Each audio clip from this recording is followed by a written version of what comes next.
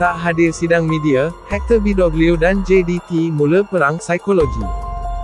JDT dilihat mengambil pendekatan pelik menjelang perlawanan akhir Piala FA 2024 apabila pengendalinya, Hector Bidoglio dan Kapten, Jordi Amat tidak menghadiri sesi sidang media. Mereka diwakili pemain pertahanan, Junior Estel dan pembantu jurulatih, Richetti Pablo Javier dengan masing-masing enggan memberi sebarang kenyataan mengenai aksi tersebut.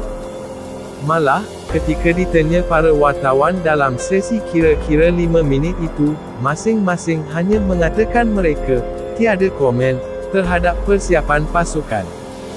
Ini sekaligus menimbulkan persepsi bahawa JDT mula menghantar serangan psikologi terhadap Selangor FC yang bakal dihadapi mereka dalam pertembungan itu. Skuad Harimau Selatan sudah tentu mahu menjulang Piala FA 2024 untuk menjadi pasukan pertama mencatat kejayaan hat-trick dalam pertandingan yang diperkenalkan sejak 1990.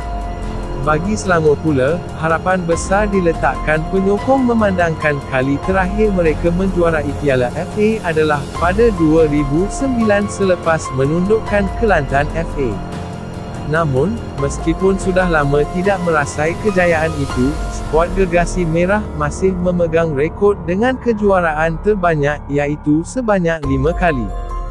Jika anda suka info-info yang diberikan dalam channel ini, bantu saya dengan menekan butang subscribe dan butang loceng untuk mendapat notifikasi terbaru dalam channel ini. Assalamualaikum, terima kasih, jumpa lagi.